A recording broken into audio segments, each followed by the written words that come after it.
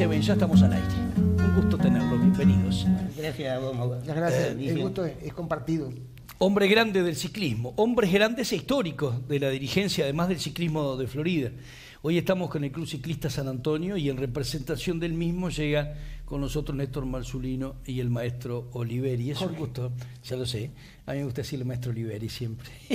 es un gusto recibirlos a ambos, bienvenidos. Muchas gracias. No, el gusto es nuestro, por favor. Ni que hablar que sí. este, la verdad que agradecemos la posibilidad de llegar a, a la audiencia de- del programa Rompecabezas. Sí. Rompecabezas y compartir este, con ustedes y con la audiencia la, la- la inquietud y, un poquito informar lo que tenemos eh, eh, de- por, por adelante o- o en el inmediato futuro de, de lo que es la actividad del Club San Antonio Deportivo.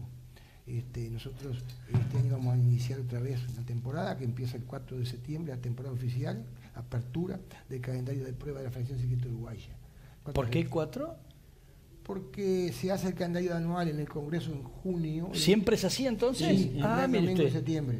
Mire usted. septiembre o alguna oportunidad muy, muy puntual. A fines de- de el agosto último domingo también, de agosto.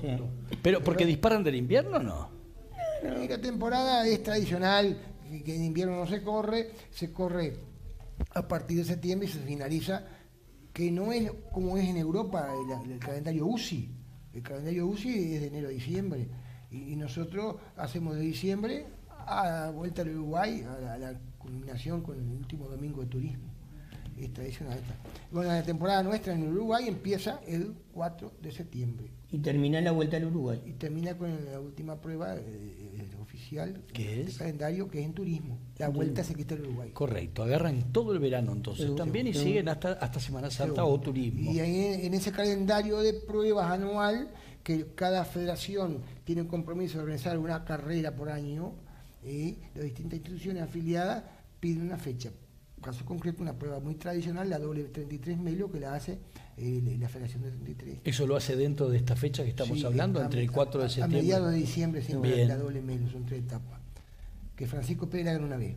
Dos veces. Después tenemos la Dos veces. Sí, por Nacional de Montevideo y por San Antonio Seguro. Vamos a no hablar mucho porque. Eh, después tenemos la prueba tradicional de Chaná, la vuelta a Chaná, que la hace la Federación de Soriano, la vuelta a Canelones, que la hace la Federación de Canelones, y se está implantando con mucho éxito una carrera que hace la Federación de Maldonado, que es el Tour de San Carlos, que lo hace un ciclista. Eh, hay como el ciclista que Pero, corre por San pero es, Antonio. es una fecha sola esa. Son tres etapas. Son carreras de tres etapas. La De tres etapas en tres días entonces. Seguro, se corre el sábado de mañana, sábado de tarde y domingo. El Tour de San Carlos lo organiza eh, eh, un ciclista Aquino, Aquí no. Gustavo Aquino. Fue ciclista de San Antonio también. Y como ciclista en, en- en- en- en- él corre, porque me dice tengo que largar, tengo que hacer el tengo que largar. Como ciclista, eh, bueno, en actividad, y moviliza mucha gente en, en- en San Carlos. Qué lindo. Hay un grupo de gente interesante que apoya y los municipios de, de San Carlos, de Piriápolis y de Aiguá, municipio de Aiguá, colaboran para hacer una hermosa carrera de tres etapas que se llama el Tour de San Carlos. Esas carreras son de tres. Y después los, domingos tenemos, tenemos la carrera que hace una vez al año la Tena de Soriano. No, y después está la doble 33 Melo también, que es Ya, que tradicional. recién.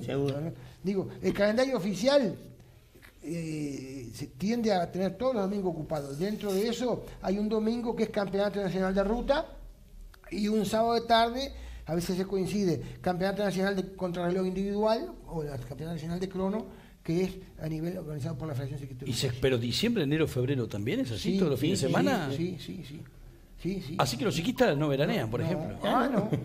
Mirá, se da la Mirá posibilidad, eh, no sé de cómo venga eh, la semana, pero corremos, por ejemplo, el, el 20 de diciembre. Bueno, muchachos, hay carrera el primero, el, el otro día, el, el 2 de enero y hay carrera el 26 de diciembre. Elijan, una de las dos no corremos, pero tenemos que correrla. Una de las dos no se corre O no corremos de para Navidad, liberarlos una o no fiesta, la otra sí. de primero de año. Y eso significa que no se puede tomar, que, no se- hay que comportarse no, la los comida, ciclistas-. Los ciclistas nuestros No se debería. son ciclistas que son muy profesionales y saben cómo eh, su régimen de alimentación y su, y su cuidado en lo, en lo que es particular, la salida, el baile. Sí. Es decir, no bailar, no caminar, no tomar alcohol. no- Entonces ellos están entrenados, están preparados, además están cobrando un sueldo, son responsables a medida que hacen todo lo que tienen que hacer. Yo digo, mirá que el que anduvo fuera de, la- de los parámetros en Navidad, lo mata el calor en la carrera de 33 allá el 5 de enero. Porque tenemos el 5 de enero una carrera clásica que se llama la fiesta del pueblo. El 5 de noche hay un circuito y después hay para Río Branco y para Balneario Lago Merín y allá hay contrarreloj. Entonces el que, el que se salió de sus parámetros Uno lo mata se el nota. sol y el calor. Se nota, se dan cuenta. Que llega en el segundo pelotón. Entonces, eh, el ciclista, cuando Sabe el, esfuerzo que hace para entrenar, eh, lo, lo complementa con todo su entorno, porque cada cosa hace después el rendimiento deportivo. Está claro, escucha.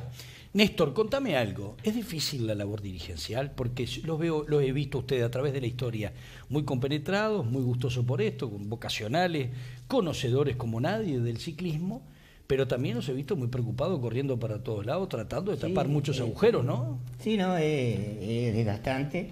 Este, yo estaba un poco, la- un poco alejado porque justamente ese desgaste tremendo.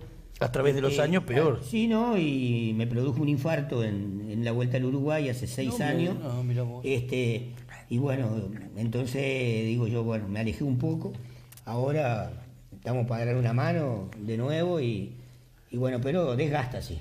Desgasta. El tema es que hay que ¿Qué le pasó a Néstor? Que, me estabas digo, haciendo señas. muy- es muy temperamental, que toda Néstor. persona que tiene una cosa que la quiere y la defiende con todo, y por su temperamento que a veces eh, hay que hacer un poco de juego de cintura, tuvo algún inconveniente con algunos deportistas, con el padre, con el entorno ahí de la delegación, y hizo un cuadro cardíaco que, bueno, ahora está Este, no, surgió un tema con, con un comisario internacional, un Ah, sí. cubano que vino, porfiado como él solo, y nos, nos puso 20, 20 segundos de multa, que no correspondía, pero bajo ningún concepto correspondía, y, y la peleamos hasta donde pudimos pelearla. Este, Y te el, ahí. ciclista, el ciclista Un deportista nuestro le reprochó me Bien. nos reprochó de que nosotros no hacíamos más por él, más de lo que podíamos hacer, pero eh, no podíamos agarrarlo del pescuezo al tipo para hacerle entrar en razón. Este, y está ahí, nos, nos- nos pusieron esos, esos 20 segundos. Al final no incidió, no incidió, eh, pero, pero en el momento sí, en el momento Lógico. teníamos que pelear porque no correspondía eso. Este, y bueno, y está, y hice un cuadro eh, Cardíaco lo hice cuando llegamos a Florida. Este, ¿Qué onda, me, empecé a, Flor? me empecé a sentir mal y empecé a sacar la cuenta que, que me daba cuenta que no era asma, que yo soy asmático, era un ahogo diferente. Mirá vos. Y me agarré el auto y me fui solo yo para el sanatorio. Me acompañó mi hija. Y bueno, y ahí quedé ya, después me Sí, llevaron para no te Montevideo. puedo creer. y bueno, y Estando- está ahí. estando quedé ahí- radical, sinceramente, debo agradecer de que quedé radical. Me ¿Qué es alejé por radical? unos años. Que quedó bien. Que quedé bien. Ah, que quedaste quedé bien. Sí, no, impecable, quedé impecable. Fui agarrado a tiempo. Este, pero bueno, está, eh, desgasta. ¿Qué va a No, hacer? sí, mucho. Eh, una, una carrera de etapas, yo siempre les digo, la, la temporada termina el domingo último de turismo. Y la, y, y la vuelta del Uruguay es desgastante, porque son 10 etapas. Y la gente dice, ah, qué lindo va la vuelta del Uruguay. ¿Lindo? Lindo, vení con nosotros a pasarla. Lindo sí, pero si vas a hacer lo que tenés que hacer y hacer las cosas como hay que hacerlas, Hay que- con muy- es muchas cosas, desgastante, ¿no? como decía Néstor. Y si el miércoles el jueves entra el cansancio, que la, la neutralización, que llegamos, eh, que llegamos, yo qué sé, en Durazno, ah, largamos de Jun, que llegamos, por ejemplo, en San Diego, ah, largamos de Cerro Chato, que llegamos acá, entonces los traslados. El masaje, alguna cosa que surge en los vehículos. eh, Los nervios. Los nervios. Se nos rompió la camioneta allá en- Entonces, en- todo eso hay que irlo solucionando porque al otro día hay que largar. Una caída, una rotura de trabuco, una rotura de caja de centro, yo qué sé, infinidad de cosas que vos cuando salís salís con todo y en, y en el andar de la prueba. ¿Cuántas personas salen en una delegación para una vuelta del Uruguay? Generalmente Del San Antonio. somos 17. Incluidos los deportistas. Seis atletas. Seis atletas. Son cuatro vehículos, Po. son cuatro conductores. Un ómnibus, un coche de avanzada y un coche de apoyo. Y un coche adelante que va haciendo el gaseo, el- el- la- la- Cuando llegan que esté pronto la- los boxes que utilizan, todo hielo, los refrescos, las banderas, eh, los rodillos, que el atleta llega, las sillas, las reposeras, las toallitas, el agua. Es- ahí va un vehículo. Después va un vehículo en la caravana, que es el coche de acompañante, y va un ve- vehículo de apoyo. Porque si hay una fuga que se, desapa- se separan los grupos, el coche de apoyo pasa para la fuga. Entonces necesita dos coches en la caravana, uno que hace la llegada, son tres, y el ómnibus, que tenemos un ómnibus que nos cumple una función espectacular, son cuatro, son cuatro conductores. Después tenés, eh, adelante, en el vehículo adelante va, ese va uno solo, como a veces van todos. Y en el coche de la caravana, el coche de punta va el director deportivo, que va a ser este año Ramiro Vidal, un mecánico y el conductor de vehículos, son tres. En el coche de apoyo van dos. Y en el ómnibus va el conductor y dos personas para ayudar en la cocina. Entonces somos 17. Escúcheme, escúcheme eso. Un técnico deportivo como Ramiro Vidal, que dicen que es muy famoso, este hombre que le está yendo muy bien ahora, actualmente es uno de los mejores entrenadores de ciclismo del Uruguay. Eh, este hombre, El mejor. ¿cuál es el trabajo de un técnico? Yo sé de un técnico de fútbol, pero no sé de un técnico de- de- deportivo de ciclismo. Bueno, en, en el, en el caso de Ramiro, hace, hace mucho más de lo que debe hacer un, di- un director entrenador, deportivo. bien. Porque se encarga de todo. Está en, En los todos mínimos los detalles. en los más mínimos detalles. Con Ramiro hay una historia con el San Antonio que en 1980 nosotros eh, ganamos la Vuelta a la Juventud con Sergio Corujo. ¿Me acuerdo? Se le ganó a un equipo espectacular brasilero, donde tenían juveniles que eran campeones mundiales, campeones este, panamericanos. Eh, Han Fischer, de origen alemán, este, Antonio Silvestre, eh, Ipo. Bueno, era, era, era un equipo impresionante. Lo dirigía Timón. Lo dirigía Timón. Y el San Antonio tenía a Sergio Corujo, que es lo que es un verdadero cra, porque fue un verdadero cra. Y, un, y otro, Pedrito otro Escarabino. Pedrito Escarabino que daba gusto, dejaba el alma, que vaya un homenaje para él Sí. en este momento, porque Pedrito fue un grande, tanto en la mecánica como en, ese, en esa vuelta a la juventud. Pero éramos dos, lo dirigía Antonio y el Bubi, dos contra seis cracks brasileros. Entonces Ramiro, no sé si se puso la del San Antonio o la celeste, y nos dio una mano tremenda. Nos dio una ayuda por el agua. por el audio de Flores. Ah, les dio como ciclista una Sí, mano tremenda como acompañándolo a ustedes. Seguro, Se una, la- colaboración. En las escaleras había una fuga que no nos, no nos servía, nos armábamos atrás para agarrar adelante. Está claro, está repente claro. Teníamos nosotros fugados, eh, cuando se fue Sergio, por ejemplo, me dicen, ah, lo agarramos. Digo, sí, nos tienen que agarrar, sí. Pero ellos aguantaban atrás. Y Ramiro rompía las escaleras la a los brasileros. como que tiraba, pero no tiraba. Entonces Este, Ramiro es un amigo del club de toda la vida. desde ahí nació una amistad con Ramiro. Está clarísimo. ¿Tú te Eh, acordarás un campeonato de zona centro-sur que se hizo en Tacuarembó? Nos pasábamos una copa inmensa, que esa que tiene dos manijas así. Le echaron tres botellas de cerveza adentro. Estaba Ramiro al lado mío corriendo por la Federación de Flores y ahí me había ganado Flores. me ganado, Y una, una confraternidad divina, aquello. Y, y tomábamos un sorbo de cerveza y pasábamos la copa. Y tomamos un de cerveza y pasamos la copa. ¿Emilio? Y otro día hablábamos con Ramiro. ¿Te acordás de la, la copa grande que ella hacía? Allá hay una parecida. En la sede hay una copa inmensa esa. Y con Ramiro ya nos conocemos hace años, maestro. Escuchen, este, un día vamos a venir a hablar exclusivamente de ciclismo para que cuenten la anécdota que a la gente le gusta. Estamos no nos perdamos. tenemos sí, mucho cuento. Tienen un cuento. Son, son libros caminando de ciclismo de verdad, muchachos. Para quien no conoce de esto, yo los traigo y me entretengo mucho. Ramiro porque- no, sí. fue técnico de la Selección- Federación Ciclista Uruguaya.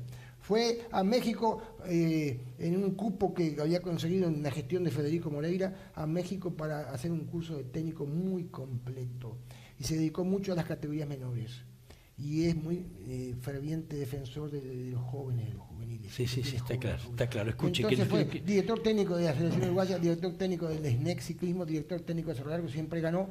Y en este momento es director técnico, de, como se dice ahora, director deportivo del Club Ciclista Deportivo Bien, San Antonio. lo que yo quiero preguntarte, mi- mira lo que es. Lo que yo quiero preguntarte. Ustedes viven en un mundo de ciclismo que una gran mayoría de la gente no lo vive. Lo que ustedes ven como natural, sé. algunos no lo vemos como tan natural. No conozco el mundo de ustedes. Entonces, como no conozco, me sorprendo cuando pregunto cosas. Tengo muchas cosas Está para bien que preguntes. Pero quiero que me definan con claridad. Yo mm, siempre de niño me imaginé que el ciclista subía a la bicicleta, pedaleaba y corría. Y el que más pedaleaba ganaba. Listo. No hay secretos para otra cosa que andar en bicicleta. Pero resulta que a, medida que uno va creciendo se va dando cuenta, hay un entrenador. ¿Qué hace un, un director? ¿Qué, qué- qué orden le va a decir a, a un ciclista o un técnico? Pedalea más rápido, pedalea más suave.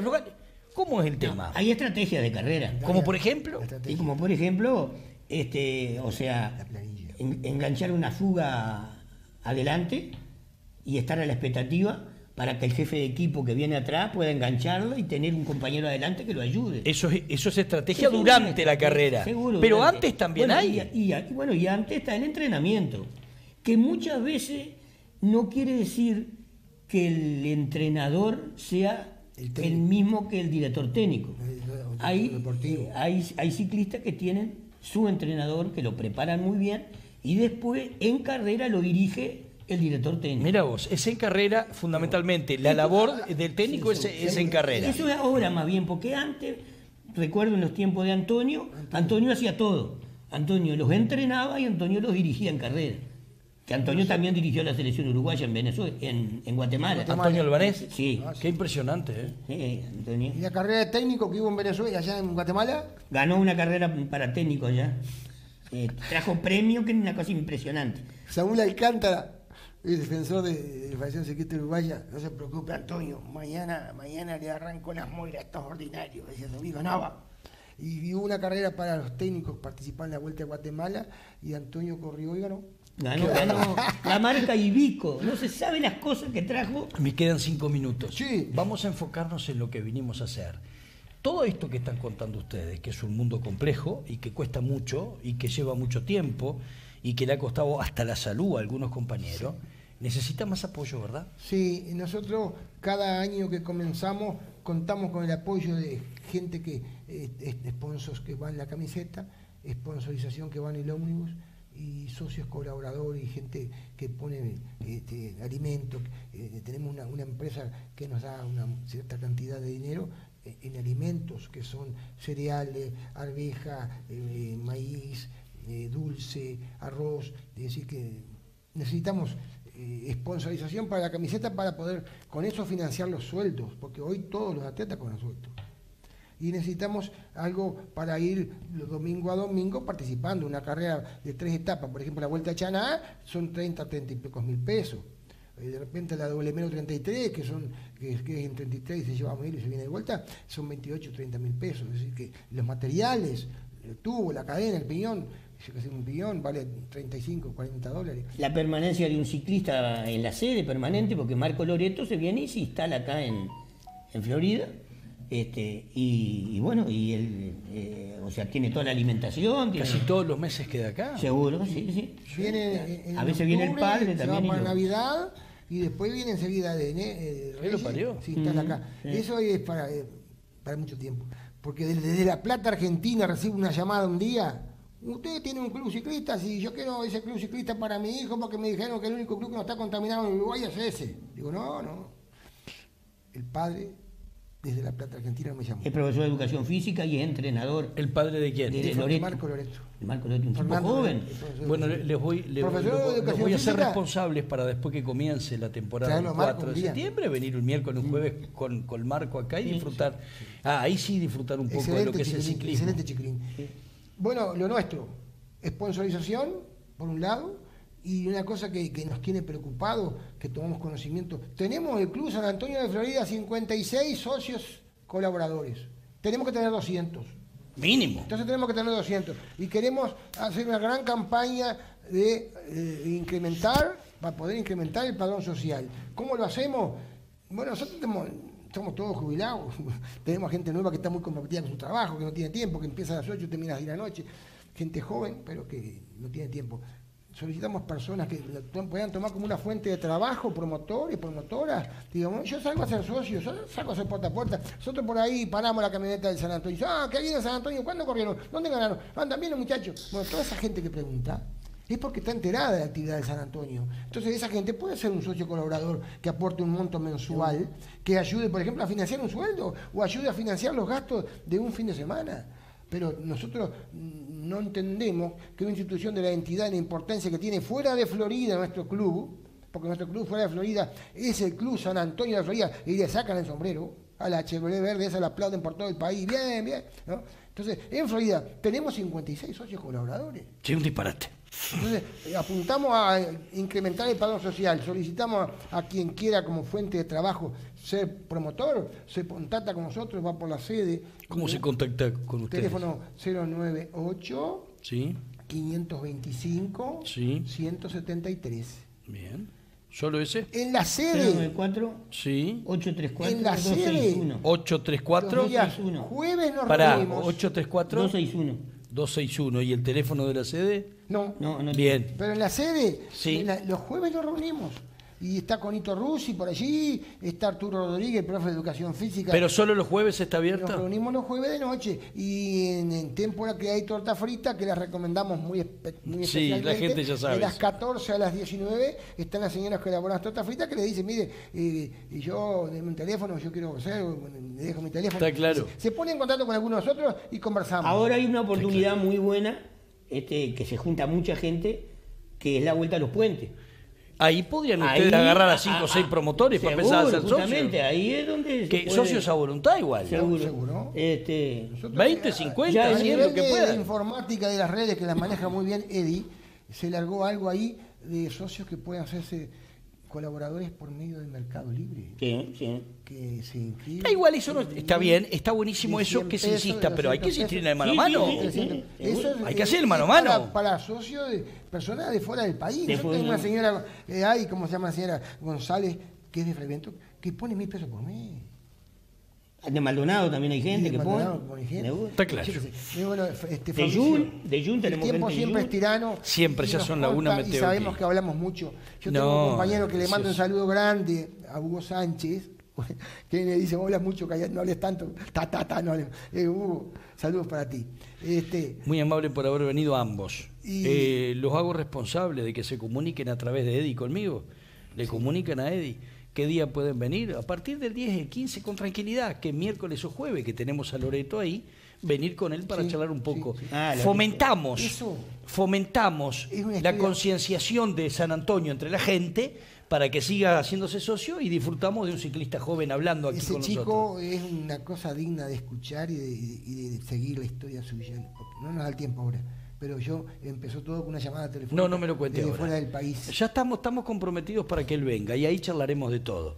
Gracias a ambos por venir. Bueno, gracias a vos, A ti y a un gran saludo y es un gusto nosotros poder esterilizar un poco, dar a conocer. Sí, nuestra- sí, pero vamos a seguir con esto. Cuando estén prontas las redes con estas dos notas, hoy o mañana se las voy a enviar y se las envío a Eddie también para que puedan. Sí, ¿Está bien? Ahí Hacer un, poquito de ruido con esto de vamos a ser socios. Sí. Un gusto tenerlo. Pero no te vayas, yo ya regreso. ¿eh? Te doy dos minutos, me cambio rápidamente de lugar, vengo con Emilio y te voy a mostrar imágenes inéditas del incendio, el minimarket Tres Hermanos Hogar de hace un ratito. Ya, Emilio aquí con el incendio, lamentable incendio, el minimarket Tres Hermanos Hogar. ¿Fue mucho? ¿Es mucho, no? Está complicado. Mucho.